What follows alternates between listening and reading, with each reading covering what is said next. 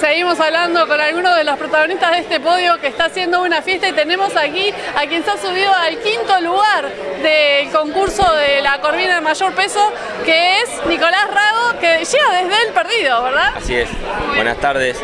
La verdad, eh, una felicidad muy grande por el sacrificio que uno hace a lo largo de todo el año, que es poner plata y poner y viajar y por ahí estamos en una zona que nos queda cerca a Montermoso y tenemos todas las playas para este lado, eh, así que fue un año largo, la competencia del Interclub, que también hacemos la liguilla esa, y bueno, eh, este año hice tres concursos y en este no iba a venir y un amigo que es como un hermano me dice, vamos, vamos, subite a la camioneta y vamos. Así que sos un gran pescador vos.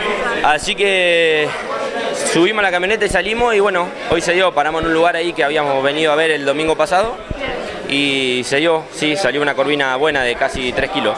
Salieron muchas corvinas en este concurso. ¿Qué te, ¿Qué te, pareció? Porque había como un pique y al lado de otro era como un minuto a minuto. En otros lugares, en otros concursos o en otras ediciones por ahí se define más rápido, pero acá fue hasta el final.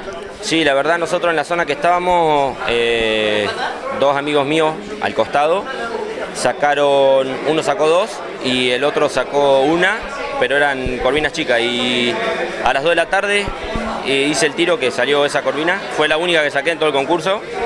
Eh, en la zona que había piedras también, pero bueno, eh, el sacrificio valió la pena. Sí, por supuesto, contame el premio. Eh, el quinto premio, 200 mil pesos a la corvina. Bien, muy bien, escúchame, ¿tenés pensado para qué? Y tengo que solucionar algunas cosas que tenía, un problema que tuve en el auto y eso, tenía que arreglar.